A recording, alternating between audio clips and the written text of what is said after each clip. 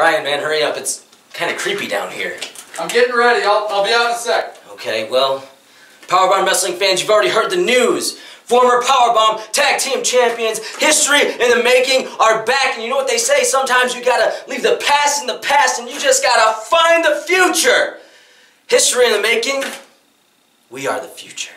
Now you've seen us climb the ladder of success. You've watched us shorten our careers in an epic cage match, the likes of which nobody has seen before and probably will never see again. Now you're gonna watch us go against clowns. More specifically, you're gonna watch us go against a circus of pain. And that's why we're here in this creepy dungeon, because we're training Gotta be ready for anything. pal. that's right, you gotta be ready for anything. And you know what? Circus of pain, more like circus of lame.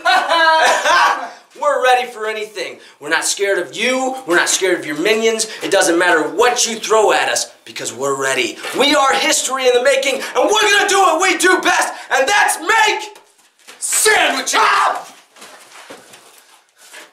Hate clowns. So why do good girls like bad guys? I have this question for a real